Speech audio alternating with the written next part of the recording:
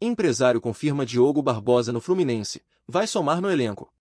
Fala torcedores do Flusão, já se inscreva no canal para não perder as notícias do Fluminense em primeira mão e deixe seu like para fortalecer o canal.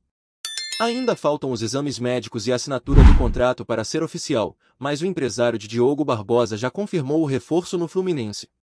Em entrevista ao site Netflu na noite desta sexta-feira, Edson Favarin destacou a carreira do lateral esquerdo de 30 anos para garantir que ele irá somar ao elenco tricolor.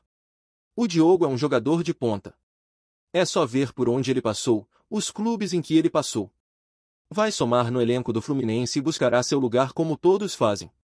Favarin também revelou que Diogo Barbosa teve contato com o técnico Fernando Diniz e o ex-atacante Fred, atual diretor de planejamento esportivo do clube. Já deixe seu like nesse vídeo para se manter atualizado sobre tudo o que acontece no Flusão. Obrigado. Continuando com a notícia. Jogadores de ponta ficam sempre no radar de grandes clubes. Então é normal que o Fluminense também tenha feito esse tipo de contato. O Diniz sabe de suas necessidades e conhece o jogador pois já se enfrentaram algumas vezes. O Fred também o conhece, então conversar é normal entre eles e entre comissão técnica.